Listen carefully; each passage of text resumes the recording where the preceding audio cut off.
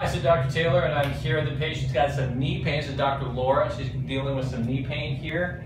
And can you stand up on that knee, Doc? And when you stand on that, how would you rate the pain? It's about a three or a four, actually. Okay, have a seat. She's been working a lot of hours. Busy, busy, busy. She's been doing a lot of standing. She's got some pain on the inside of that knee. Now, as I when you have pain, when somebody's got pain on the inside part of the knee, you think vastus medialis. So when we tested it, go and touch the in, inside part of the knee. It was coming from adhesive scar tissue coming in this area. So I'm going to do a little work. and you bring the arm down? I'm just going to bring the, she's so sensitive right here.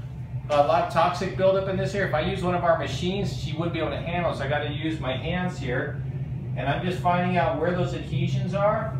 And I'm just breaking it up. There's a good one right there. So the muscle eventually becomes a tendon, and the tendon attaches to the bone, and where that tendinous bony junction is, is often the site of inflammation and scar tissue. So I'm just kind of clearing that out. I'm feeling where those adhesions and fibers are lying down, and I'm separating them using this technique here that is going to separate those fibers.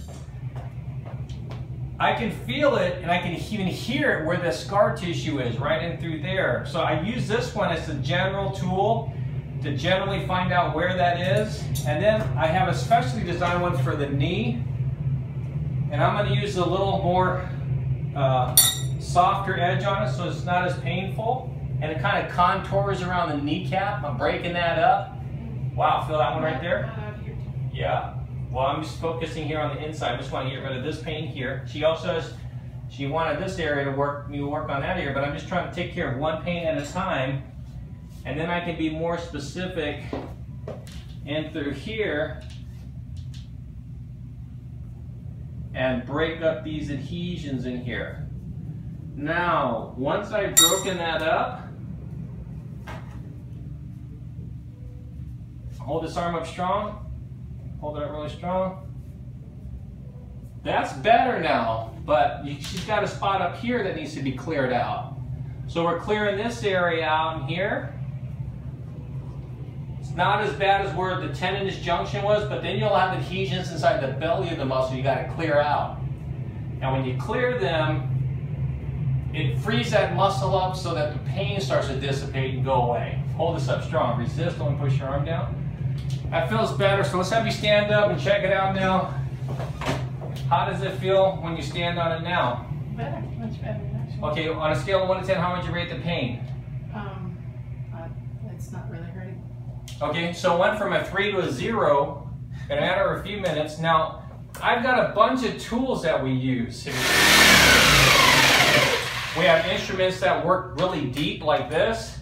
We have a rapid release technology that's a little bit softer, but it's still a form of vibrational therapy.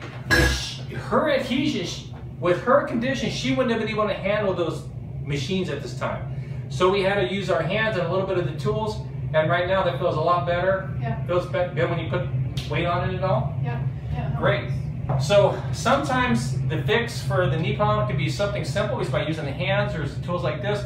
Other times you need more advanced technology to take care of it, like the laser, the energy pressure wave technology. So hope this video has been helpful. This is Dr. Taylor signing off. Yes, my name is Anthony Banks, and I just uh, did some painting for uh, Dr. Taylor, and he gave, gave me a treatment.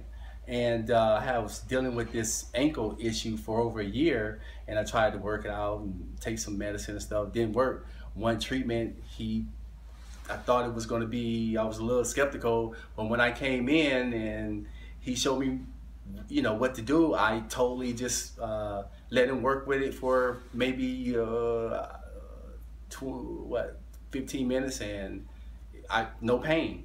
So um, see Dr. Taylor because he's good.